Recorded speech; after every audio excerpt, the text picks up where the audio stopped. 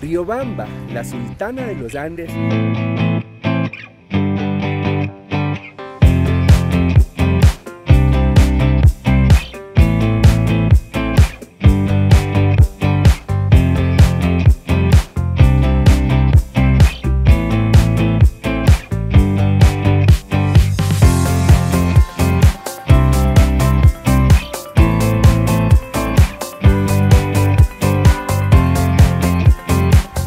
Riobamba, la sultana de los Andes, es una tierra privilegiada en tradiciones y cultura.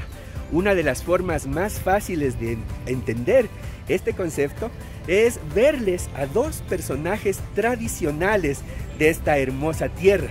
Aquí estoy con una diablita sonajera y con un payasito, dos personajes claves de la fiesta que se llama el Pase del Niño Riobambeño que de paso ha sido catalogada como un patrimonio cultural de esta hermosa ciudad. Cuéntenme, ¿qué hacen aquí en el Parque Sucre? Nosotros recibimos a todos los turistas y les enseñamos este mágico lugar. Si visitan la ciudad, no duden en buscarnos.